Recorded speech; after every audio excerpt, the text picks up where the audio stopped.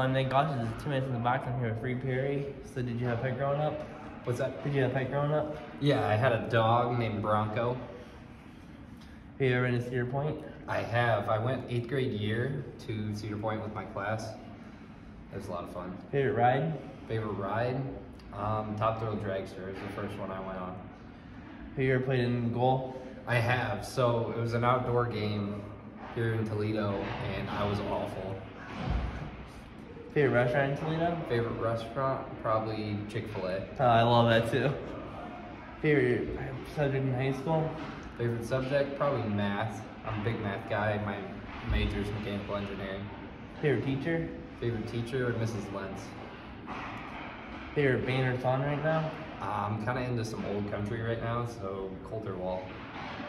Favorite TV show of all time? Um, Lucifer, it's on Netflix. It's really good. Favorite hockey moment ever?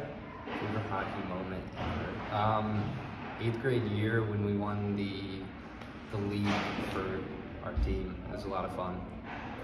And the last question is a hot dog sandwich. It is not a sandwich. The bun is not separated. It is one bun.